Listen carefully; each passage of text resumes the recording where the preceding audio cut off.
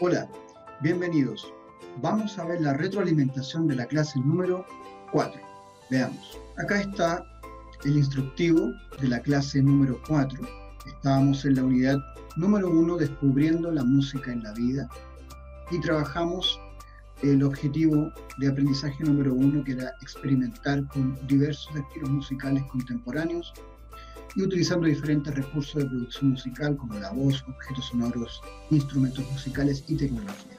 Lo primero que debían hacer la clase anterior era revisar cierto, la retroalimentación de la clase número 3 y a continuación ver el video con las instrucciones. La clase se centró en que ustedes pudieran crear una mini obra experimental, ¿cierto? usando objetos sonoros que tenían en sus casas yo coloqué varios ejemplos, y bolsas, cajas, vasos, botellas, etc. El trabajo podía ser individual, podía ser en grupo.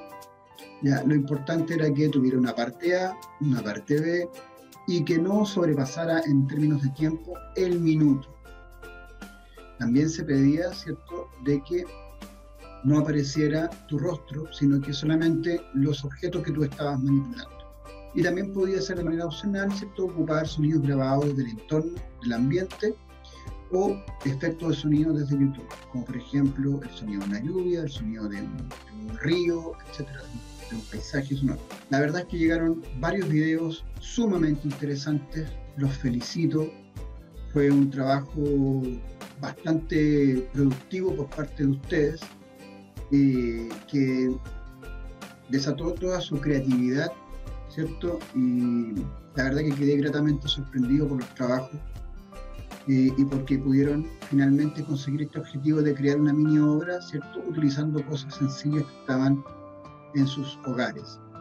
Quizás el, el, principal problema fueron las formalidades que vemos acá, ¿cierto? Que tenía que estar en formato MP4 y el tema de guardar el video, ¿cierto? Con cierto nombre. No, no todos lo hicieron y es importante que puedan ir y resguardando ese tipo de, situaciones. Cuando guarden un video, asignarle un nombre, también se le puede cambiar el nombre. Cuando tú le colocas encima de un video, de un video con botón derecho en, tu computador, aparece la opción cierto de cambiar el nombre para poder colocarle ese rotulado que, yo eh, había solicitado. Pude ver la mayoría de los videos, algunos eh, optaron por subirlo a YouTube, ¿cierto? Y enviarme el enlace de forma privada o de forma no listada, otros me enviaron el video directamente. Eh, así que muy contento por el trabajo, por su trabajo, chiquillos, los felicito realmente. Y aquellos que todavía no lo han hecho, bueno, los invitamos a poder realizarlo, todavía estamos recibiendo eh, trabajos y videos.